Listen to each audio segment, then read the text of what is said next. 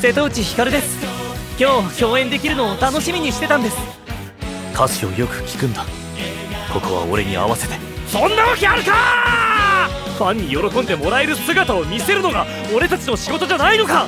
お前がやっているのはアイドルじゃない！猿までなんだよ！仁淀優也お前最上朝日の何なんだ？